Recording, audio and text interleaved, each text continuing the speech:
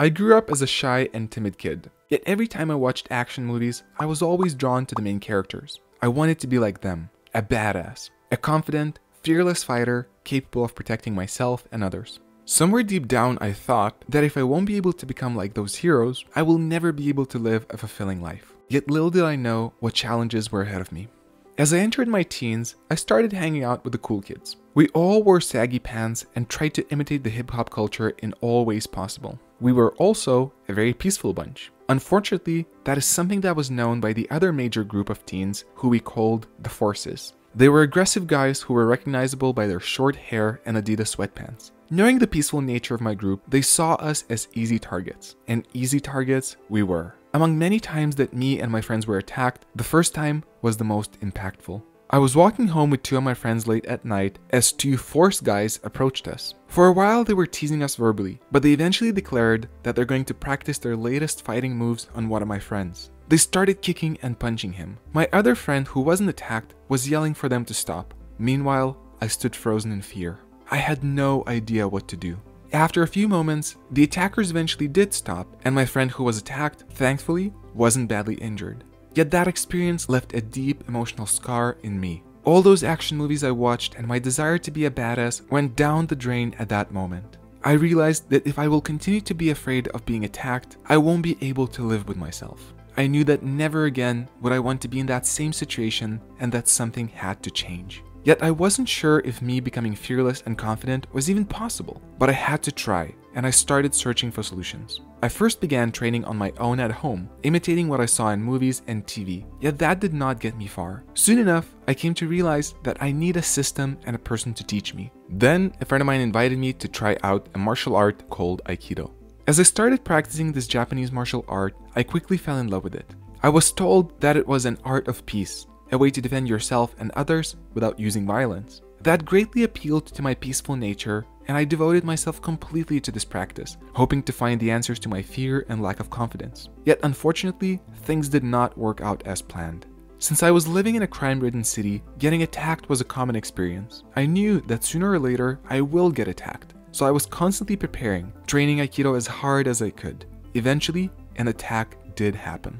I was approached by five guys who demanded me to give them my cell phone. One of the guys grabbed me by my collar. At that time, I was practicing Aikido intensively for about a year. Being grabbed seemed to be an ideal situation, as in Aikido, you practice defending yourself against grabs all the time. Yet the only thing that came to my mind at that moment was to punch the guy in the head. I threw out my punch, and as it was received, the guy collapsed on the ground. That sent the rest of the guys into chaos. They clearly didn't expect me to fight back. But I was not smart enough to use that chance to run away. I stood there waiting for them to attack me so I could try to defend myself using Aikido. That's when they pepper sprayed me. Luckily, I was then smart enough to run away and I was able to do it, even though my eyes and face were hurting like hell. But after that incident, my confidence shrank even more. When I asked my Aikido instructor to comment on what happened, he blamed me for not being able to use Aikido. He told me that I needed to train more, so I did.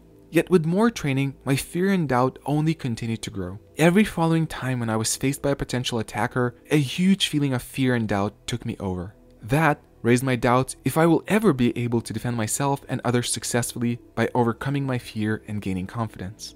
A decade passed. During that time, I continued to train Aikido with devotion and commitment. I lived and trained at an Aikido school for three years. I became a professional Aikido instructor and opened up a full time Aikido school. I thought that I grew out of my lack of confidence and fear due to my devotion to the practice. Yet then, something else happened. One evening, I was taking a walk together with a group of my students. As we were hanging out, a beefed up, shirtless guy approached us. At the beginning, it was hard to tell if he meant to hurt us, but that was enough for me to start feeling afraid. I did not discover any type of confidence in that situation, and I was doing my best to avoid the conflict any way I could. I was full of doubt and fear, yet again, not knowing what to do. My students noticed that. They saw the fear and lack of confidence in me. The guy ended up walking away without attacking us, but my students who I was with never looked at me the same way they did before ever again. They clearly lost all respect and confidence in me. And I can't blame them. I was their martial arts instructor. I was the guy who was teaching them to defend themselves. And I failed to stand my ground when it mattered. This event, till this day, is one of the most shameful moments of my life. In that situation, I did not turn out to be a badass I always wanted to be. I failed my students and failed myself. Even after years of devoted training in Aikido, I was still afraid of getting attacked. For a moment, I thought that maybe indeed I am hopeless. Maybe I am bound to be afraid for the rest of my life. But then I asked myself another question. What if it was not my personal fault, but a problem of the system I was training in? To be fair, I was giving so much energy and time to it, and I felt little internal change as a result. What if Aikido did not equip me to deal with these kinds of situations? I decided to take a leap of faith and to try something new. I closed down my Aikido school without knowing exactly what I will do next. At that time, I was attracted to a different practice known as mixed martial arts or MMA, but I had limited options to train it in the city I lived in. Yet, as it sometimes happens in life, after a couple of weeks, I saw an answer. I discovered Wimp to Warrior, a six months full time MMA program that teaches you all the basics. It seemed like the perfect solution for me, but this program was not running in my country. Luckily, I knew someone who organized it at their gym. That someone was Coach Matt Thornton. Matt Thornton is well known as a key figure in explaining the difference between functional martial arts and fantasy based martial arts. I had a feeling he had the answers that I was looking for and wrote him a message asking if I could participate in his organized Wimp to Warrior camp. Soon enough, he replied to me that he would be happy to have me come over. I felt as if I was blessed by life. The problem, though, was that this was happening at the other side of the world from where I was but I had a deep gut feeling that I just had to do this. I decided to cut all my ties in my country and move to live in the States for the full time MMA training. As I got to know Coach Matt Thornton personally, he explained to me that my lack of confidence was not inherently my personal problem. He told me that it was actually a problem of the Aikido system that I was relying on and the way it is taught. As some other martial arts, Aikido relies on cooperative training where there's no actual fighting pressure or true sense of danger. These conditions are not enough to get used to and to prepare for a real attack. Yet hearing this was not enough. Another huge challenge was still ahead of me. As I started training MMA full time in the Wimp to Warrior program, I also joined the MMA competition team. That was a scary experience on its own. I was about to face experienced fighters in constant sparring sessions, which included punches to the face, something that was not part of my Aikido experience. I felt intimidated. I felt out of my league. But I knew that if I won't step on the training mat now and face these guys, I will never overcome my fear. This was exactly what I needed to do, and despite my fears, I did.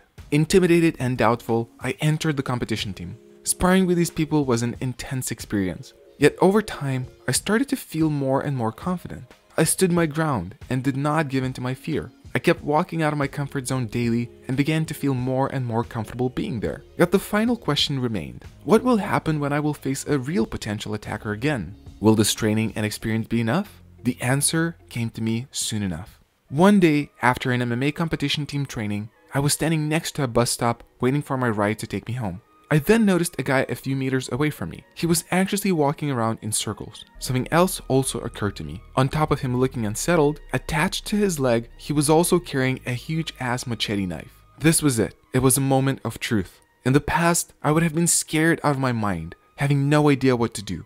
Yet this time, something was different. I was not afraid at all. Instead, I focused on a metal camera tripod that I was holding in my hand. I thought to myself, well, if he will start going wild and attack me or anyone else, I'll hit him with the tripod. Back in my mind, I realized that each day I was facing people who knew how to fight.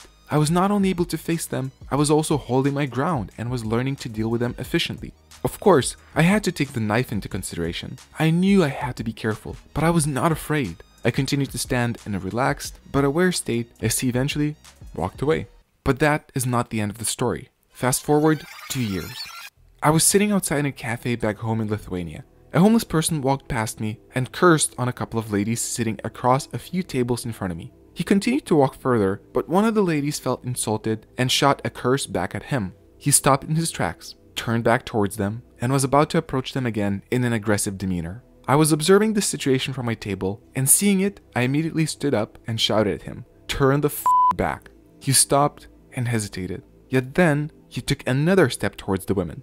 I shouted at him again, this time with an even more serious tone Turn the f- back and walk away. There was no fear in me at all, just a healthy dose of adrenaline. I was fully ready to defend these women and to take this guy out if I had to. The homeless guy stopped again, thought for a moment, turned back, and walked away, silently cursing to himself.